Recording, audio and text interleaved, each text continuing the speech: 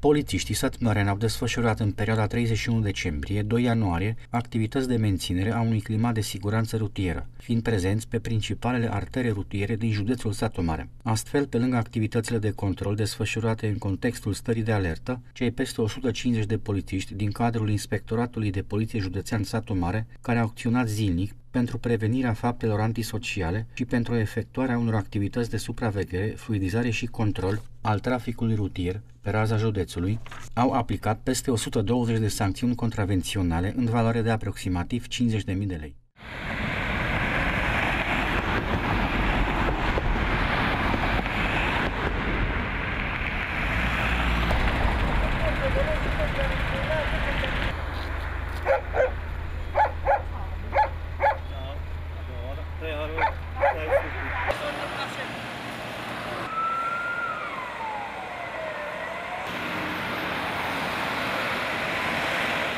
De asemenea, polițiștii au aplicat măsura complementară de suspendare a dreptului de a conduce în cazul a 15 conducători auto și au ridicat un certificat de înmatriculare.